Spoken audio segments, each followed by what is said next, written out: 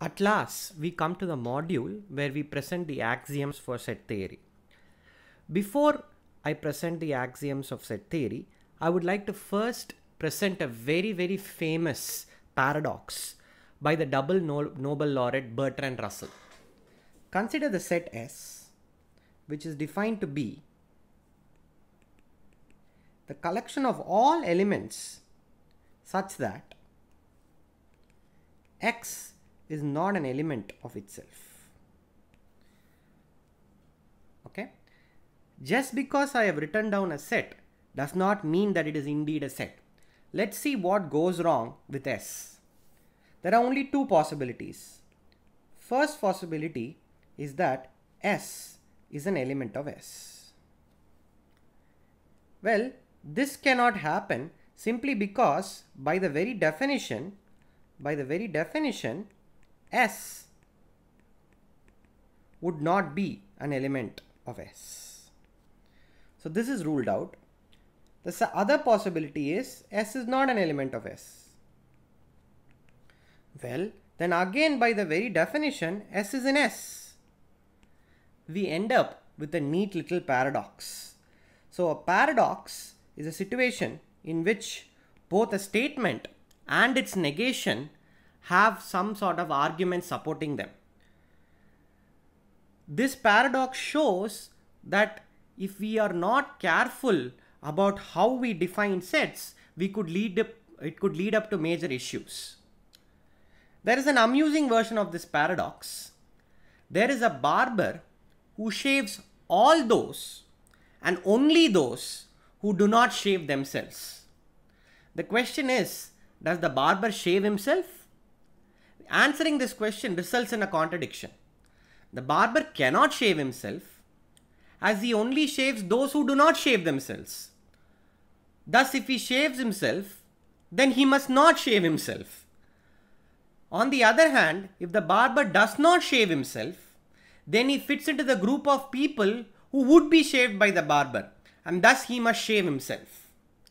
So this is an amusing version of the paradox which is somewhat related. Now the paradox given by Bertrand Russell led to the formulation of modern set theoretic axioms. This was pioneered by Ernst Zermelo in the early 20th century. A bit later, Abraham Fraenkel and Thoralf Skolem independently proposed some modifications to the axioms of Zermelo. Together with the controversial axiom of choice, this axiom system today is known as ZFC. ZFC acts as a foundation for much of modern mathematics. Virtually every set that you encounter is a set in ZFC. There are other formulations of set theory and there are other foundations for mathematics as well.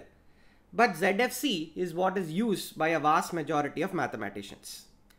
We shall be very brief in our discussion we will refer to the text of Halmos for more details. In this course, we will not be too worried about set theoretic issues. We will rather concentrate only on naive set theory, which is what we have seen so far in this course. But it is culturally good to know the axioms of modern set theory just for cultural purposes. So the undefined terms, the undefined terms in this axiomatic framework are the terms set, the relation is an element of, and property and the word property. Now the word property is an undefined term only in this course. Remember I just told that um, Ernst Zermelo's axioms were modified by Thoralf Skolem and Abraham Fraenkel. Their work is primarily to make what this property means more precise using mathematical logic. So in a course that deals more with mathematical logic, you will see a precise definition of what a property is. With that preliminary said, let's begin with our axiomatic framework. The first remark I want to make is that everything in this framework is a set. every object is a set. This means that whatever construction which we do, functions, relations, even more complicated objects like manifolds, which you will see in a future course no doubt, must all boil down to be sets.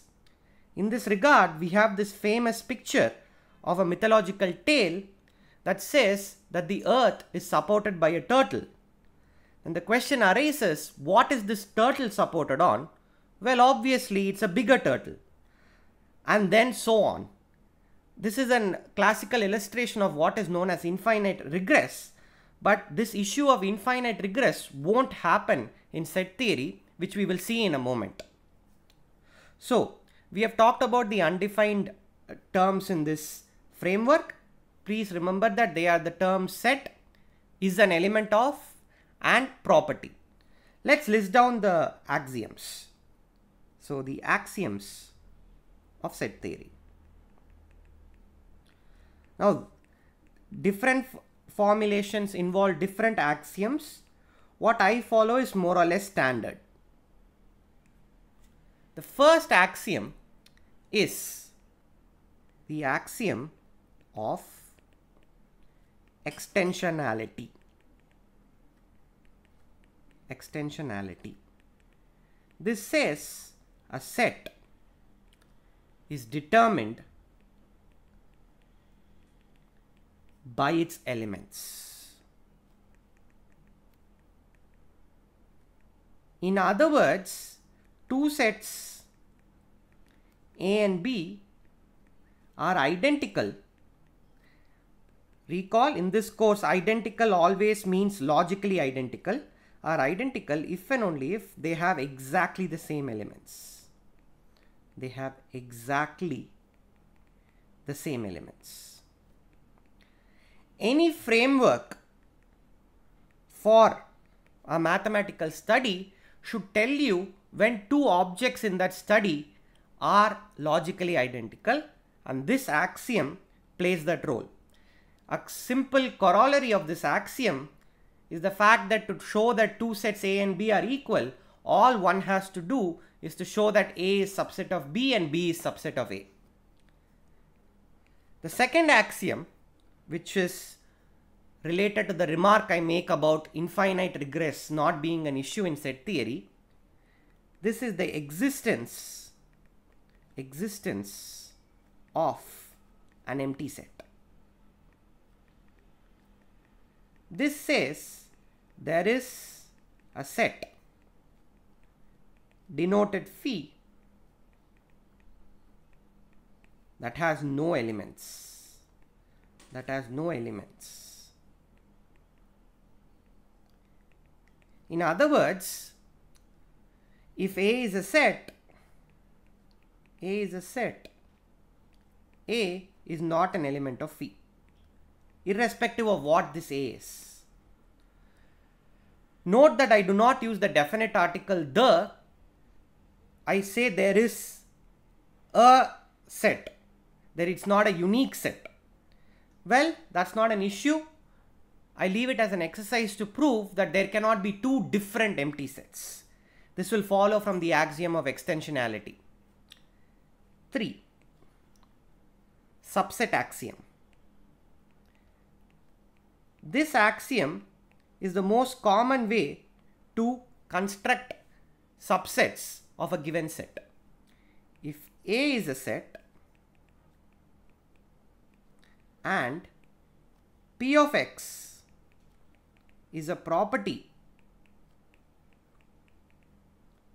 over A or better terminology will be defined on A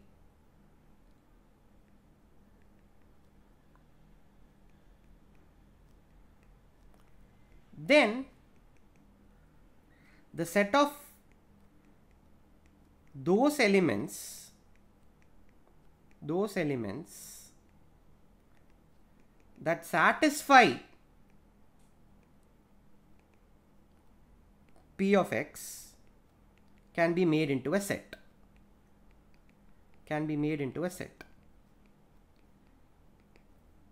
In briefer language if you define b to be x in A such that P of X is true, then this is a set. B is a set. So most sets that we define, we are essentially using the subset axiom and the undefined term property to define them. For instance, the definition of odd numbers, even numbers, prime numbers that we have already seen. The next axiom is vitally important, especially for this course, because this course at the end of the day is about functions. This is the pairing axiom. This is the pairing axiom. This says the following. If A comma B are sets, then there is a set of elements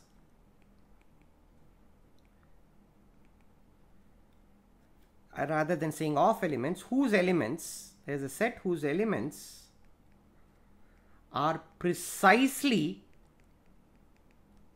A and B. In other words, A comma B is a set. Now, why is this so useful? Well, you can use it to construct an ordered pair. You can construct an ordered pair. This construction is due to Kuratowski. This you consider the ordered pair A comma B as a set with A and a set with AB. So it's a set of two elements the first element is A. I really shouldn't say first element. One of the elements is just the set with A and the other element is the set with A comma B. Now why does this define the ordered pair? Well, it's an exercise. Show that, show that A comma B is equal to C comma D if and only if A is equal to B and C is equal to D.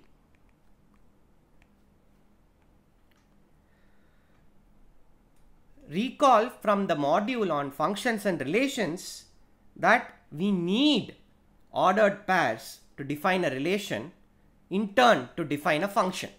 So this is in some sense one of the most important axioms because this allows us to define functions. The fifth axiom is fairly straightforward. It's the union axiom. It will be stated in a really weird way because everything for us is a set. It says the following. Given a set given a set F, there is a set capital U whose elements are precisely are precisely those that belong to that belong to at least one element of F. Okay. Now recall from our naive discussion of unions and intersections that I had defined the union of two sets A union B as X such that X is in A or X is in B. Right? But this definition has a problem simply because the property that I'm using to define the union, it's not clear what set it is defined on. Property should always be defined on a set and it is not clear which set this is defined on. This is not really a problem because the union axiom just says that whatever set you take, you can consider another set whose elements are precisely the elements of the elements of F. Okay, so that's a bit of a wordful. Uh, so let me just write that. You can, to construct the set A union B, all you have to do is consider the set A comma B, which is a set by the pairing axiom and then just take the union. So it's a bit of a convoluted way of just defining the union of two sets, but this axiom is far more general than just the union of two sets. You can take union of any number of sets. 6. The power set axiom. Well, as the name suggests, this axiom is fairly straightforward. Given a set X, given a set X, there is a set, there is a set. The power set of x whose elements whose elements are precisely precisely the subsets of x. Okay so why this axiom is quite interesting the subset axiom says that given a set and a property defined on the set, you can extract the subset from that property. But it is not clear whether you can extract every single subset this way. The power set axiom says that there is a set whose elements are precisely the subsets of X. So in particular, every subset of X is in fact a set. The next axiom is very subtle. It is the axiom of infinity.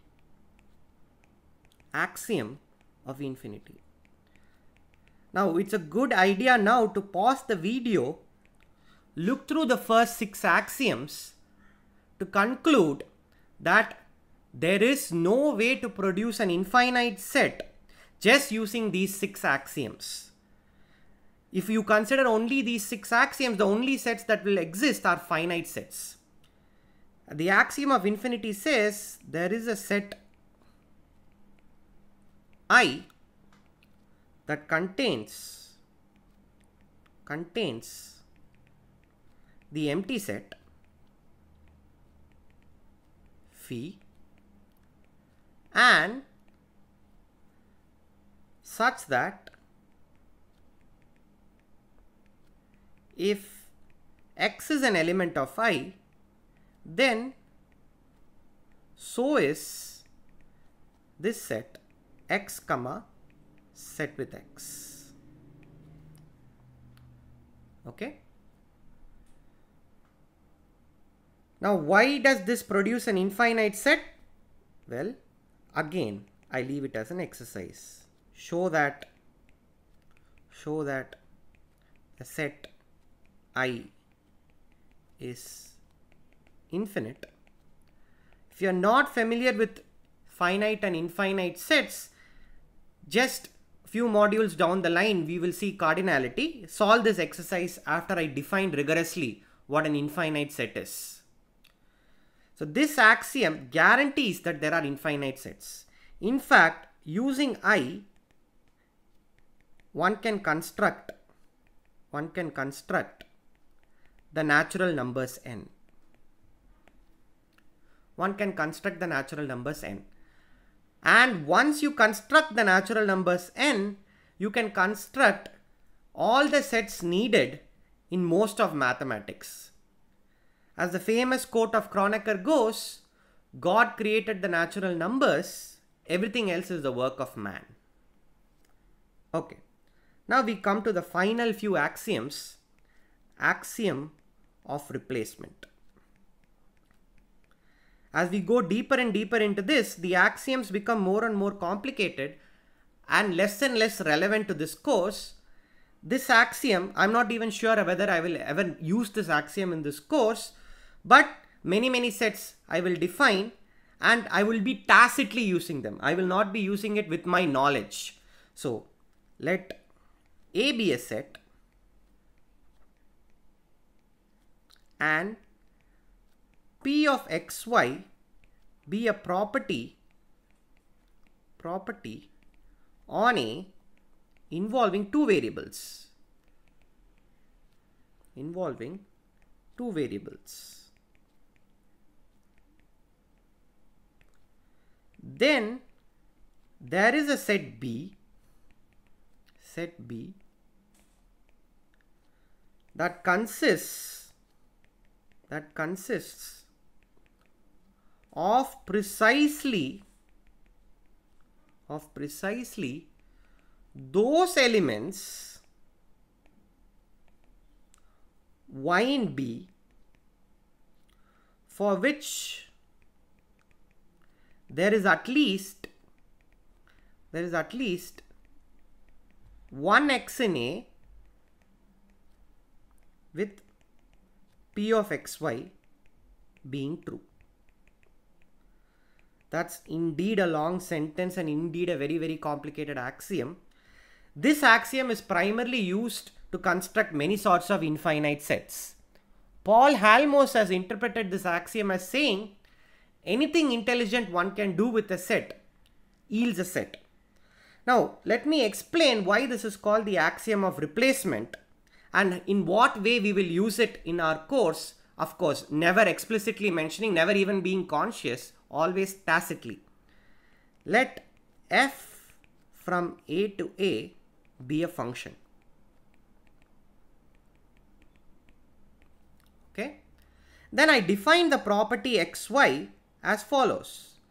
Property xy is same as saying x equal to f of y. Oh, sorry. I mean, I had used y and x intentionally to make sure I don't make this mistake, but I still made the mistake. y equal to f of x. Then what this axiom asserts is that f of x such that x is in A, which is exactly same as those elements y in A such that p of xy is true,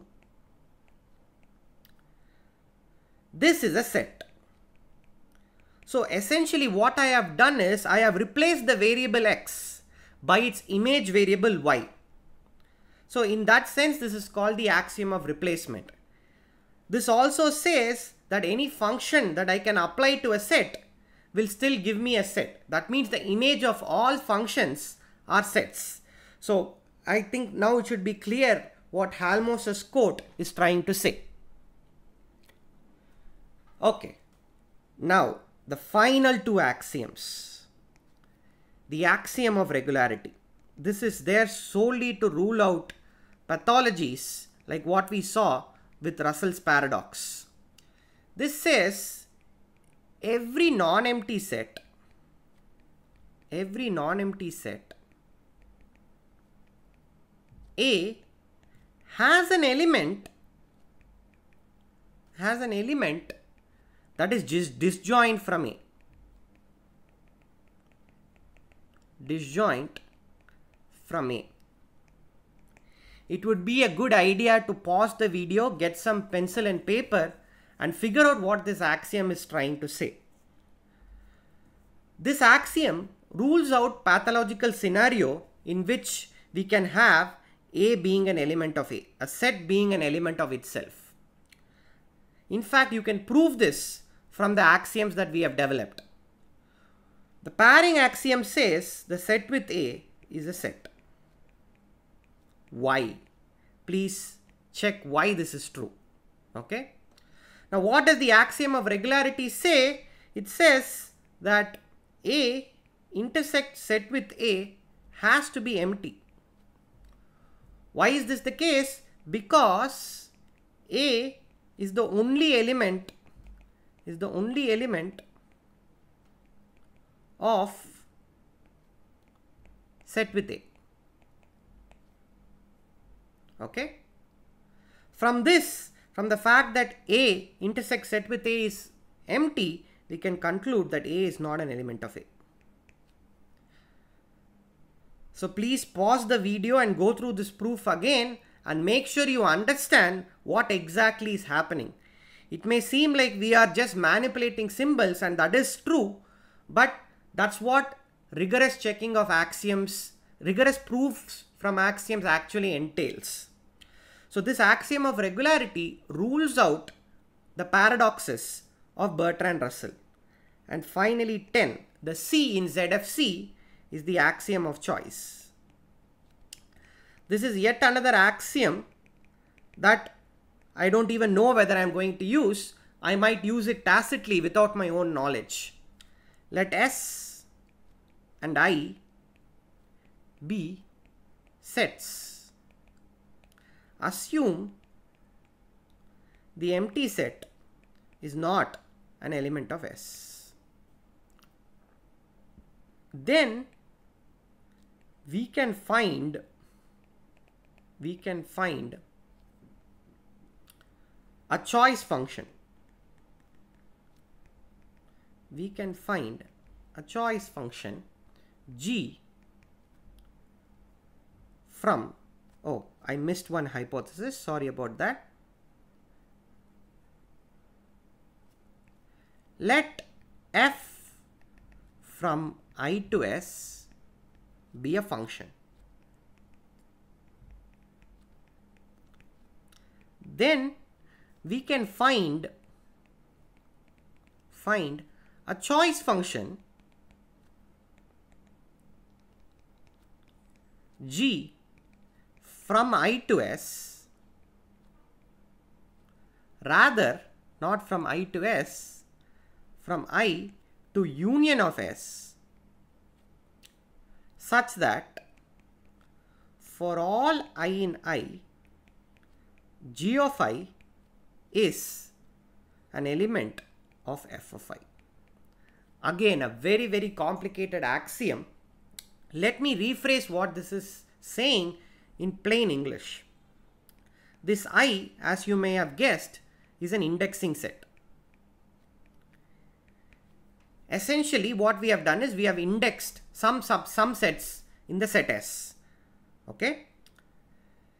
Then what this axiom is saying is that you can find another set which is precisely one element from each of these index sets. That's what essentially the function g from i to union of s is. It's indexing elements of the elements of s. Okay. So this axiom of choice is used in topology extensively. We will only briefly see topology. As I say again, I do not really know whether we will use this axiom, but I'm sure I will use it without my own knowledge. Let me make some more remarks about this. If the collection S has only finitely many elements, then this axiom is actually not needed. You can produce this choice function by hand. You can use mathematical induction to prove this. If there's only one element of S, then saying that you can choose an element of that set is essentially saying that the set is non-empty. It's equivalent to saying that the set is non-empty. You have to exhibit an element to show that the set is non-empty so that there is no uh, arbitrary choice involved. Okay. Not only that, in many other cases also, uh, it will be easy to produce this choice function. For instance, look at the set S. Let it be the power set of natural numbers. Later in this chapter on cardinality, you will see that this set is going to be a really vast set. There is no need to invoke the axiom of choice to choose one element from each of these sets. Why is that? Well, for each one of the subsets of the natural numbers, there is always a least element. So there is a way to extract the element without using the axiom of choice. So this concludes our presentation of the axiomatic framework of set theory. As I remark again, we will not explicitly cite any of these axioms in this course. In fact, this uh, module is sort of semi-optional. This is just there for cultural purposes. But let me end by making one somewhat disassuring remark. These axioms we have written down, we have used our intuition and a lot of work on what constitutes the idea of a set. It is clear that the paradox of Bertrand Russell will go away from these axioms, but it's not clear that there is some other paradox.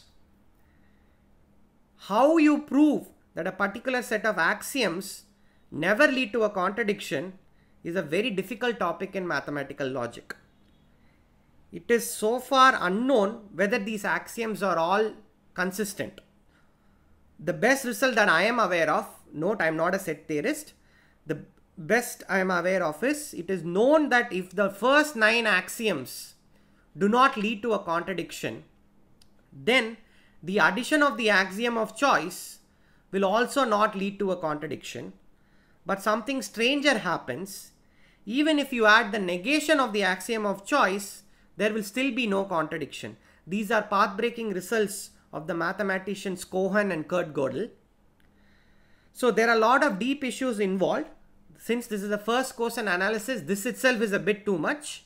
So if this uh, particular module is a bit difficult for you, don't worry. This is just there for uh, uh, anticipating the future. If you are really, your interest is piqued by this module, please read the book of Halmos. It's an excellent book. This is the course on real analysis and you have just watched the module on the axiomatic framework of set theory. Thank you.